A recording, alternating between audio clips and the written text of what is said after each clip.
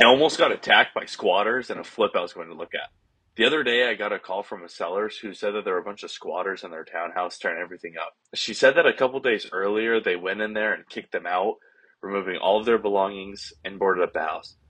It was almost dark, but I went in the house. I walked up the stairs and I saw someone's pillow and a bunch of open snacks.